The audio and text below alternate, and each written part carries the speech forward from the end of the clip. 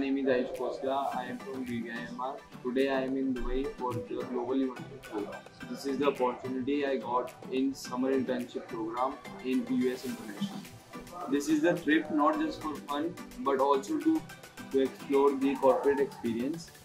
I would like to thank Dr. Neelam, Dr. Yamini for giving me this opportunity and I would also like to thank uh, Ishan CEO of UAS International and Miss Komal ma'am and the management for guiding us for the summer internship program. Oh, These are the certificates which I have received in the summer internship program and also this award I got in Dubai. At last, I would like to tell my juniors that this is the best opportunity to have from UAS International Group of Companies. Thank you.